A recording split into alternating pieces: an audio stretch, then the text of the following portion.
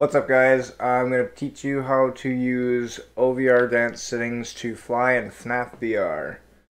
So first thing here we're going to want to do is you're going to want to search the Steam store for OVR advanced settings. That.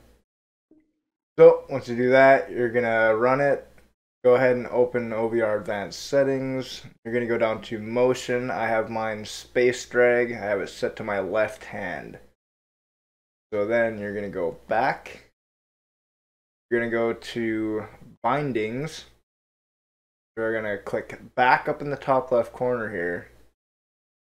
And right around, right in this area, it should say play space mover. You're going to click on activate.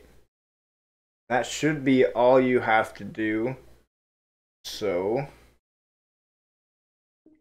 let's fire up FNAF VR.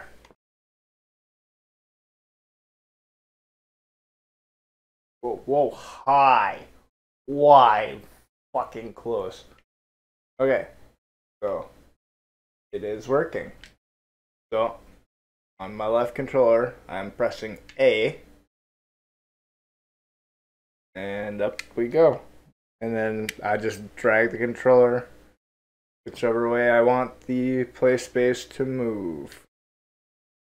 Alright, so I'm just going to make sure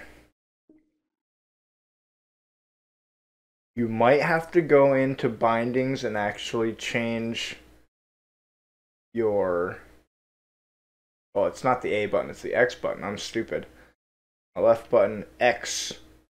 You might have to come down here and change it because it might want to do it onto your a or B button over here. But that's how I got it working. Hopefully it works for you. Thanks for checking this out. Take care.